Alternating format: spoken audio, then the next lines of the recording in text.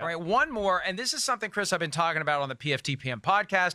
I mentioned it with Dan Patrick yesterday. I wrote a lengthy item about it last night. This relates to what seems to be an obvious desire by the NFL's competition committee to exempt the Hail Mary play from any type of replay review for pass interference. Now, quick background they went too far, I think, back in March to correct the Rams Saints outcome. They've made pass interference subject to replay review across the board. Now they're going to begin the process of crawling back and taking some of these facets of it away. And one big facet, turning it off during Hail Marys. Now, Rich McKay seems to think it will be very easy, Chris, to set up the parameters where replay review is turned off. You know, 40 yards away, 10 seconds left in the game four guys in the end zone, something like that. They'll come up with an objective formula. Yeah, right. Here's my concern. Right. You're going to have smart coaches who will understand when replay review is available for Hail Mary and when it isn't.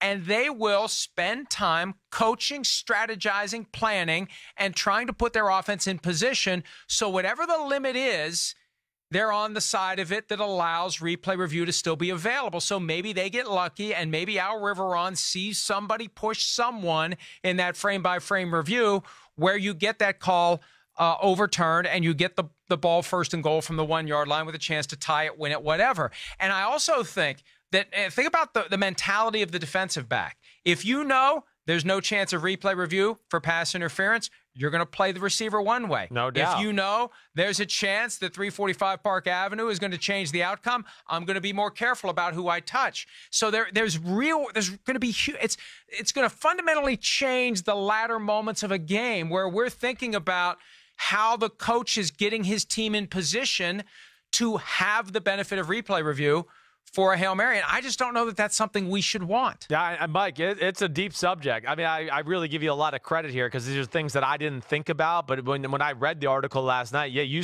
you got my brain stewing about a lot of different things. Yeah, yeah. To add to what you're saying and some of the unintended consequences here, also hey, if if an offensive coordinator knows that okay, we're at the time of the game where they I can throw the hail mary up here and pass interference is not going to be reviewed.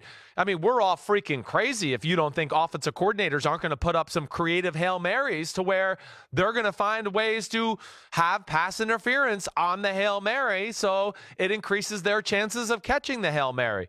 Two, also do that. You know, I think back about that Arizona Cardinals Green Bay Packers game a few years back, right when Aaron Rodgers hit the two Hail Marys, right? What are going to be the guidelines for Hail Mary? What if a team is backed up and it's third and 20 and they're on their own three yard line, right?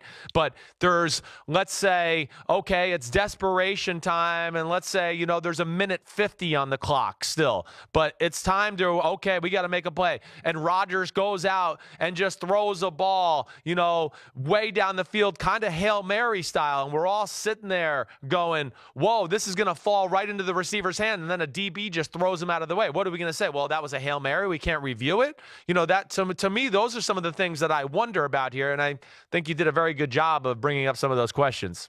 Yeah, and, and you know what? That's a good point on designing plays to have intentional offensive pass interference when you are in that zone where it's turned off. I mean, yeah, I think you, if you're the offensive team, you would prefer to, to have the ability of replay review. But if you don't, you've got a different strategy altogether. And and I think it's as simple as this: if you have to have four guys in the end zone for it to be a hail mary, you put three in the end zone and one at the two. Right? Yeah, you, you just have one less, whatever that objective right. standard is, whatever the max or the, the, the minimum number to turn off replay review, you just take one away. And and I here's what I don't want. I don't want, let's say that it's the 40 yard line is the the barrier for the Hail Mary being turned off. Right. And 10 seconds or less on the clock. I don't want to see a play with the team at the 40 and 10 seconds left, a one yard out route, right? And then you go out of bounds, so you're on the 39 instead. So now replay reviews available. Yeah, I mean, right. That, that just it just yeah, seems right. goofy, I right? hear you. you. What, do we want that? I No. don't think we want that. So I, I continue. Rich, uh, if you're watching and you probably aren't, anybody else with any influence on this league, if you're watching and you probably aren't, just do the sky judge, please. Just do the fallback. Member of the officiating crew who is watching everything that we see at home and is there to clear up that obvious mistake. Let that person consult with Park Avenue too to make sure they do it right. But if they had that in place, the flag gets dropped in Rams Saints and it's fixed. They've gone, Chris, they're coming up with a system to fix one very small, narrow problem that's going to create so many more potential problems, and it's going to fundamentally change the way we absorb and enjoy the final moments of a game. And and I just I well, I know the hundredth season of the NFL is going to be marred by this and uh, I don't know how they fix it at this point. No, I don't either. It, uh, I'm, I'm going to be interested to see what the formula is that they come up with with the Hail Mary in these situations. But yeah, with some of these rule changes, it's going to be unintended consequences. Yeah, we're going to fix some things, but some things are probably going to be a little bit more of a pain in the butt for us. And yeah, hey, this is the reason they're the competition committee and they're being paid a lot of money at their jobs because they got to figure these issues out, and they're not going to be very easy to, to yeah, figure but, but out. Chris, ultimately. it's it's it's their own fault because Rich hid behind unintended consequences to take the position they weren't really going to do anything. Remember when we had him at the Super Bowl? Yeah, right. Very clear vibe that they didn't want to do anything. There's too many unintended consequences. So they show up at the league meeting and they're not ready for the coaches and the owners to say, hey, we got to do something about it. So they go too far because they didn't think through the actual consequences of having replay review available for pass interference. And now they're going to have to carve back. And as they carve back, there's unintended consequences. And and this this Hail Mary thing, it is so unpalatable to me. It is so, I just don't like the idea of, of engineering the final moments of a game to, to either have or not have Hail Mary, replay review, yeah. pass interference available. I just it just why complicate the game that way? Right, right. I get you. Or or or we're going to be sitting there watching a team trying to cheat the system of why how it's set up, and that's not going to be fun TV to watch too. So I get you, Mike. Um, I'm I'm going to be you know kind of surprised or interested to see where it all goes. Well, hopefully, somebody out there with any degree of influence or persuasion over the competition committee or ownership is listening to us and agrees with us. There's a chance they're listening and they just think we're crazy, and there's very a chance, chance, we are. Right. There's a very good chance we'll be back on Tuesday with more PFT Live and PFT OT.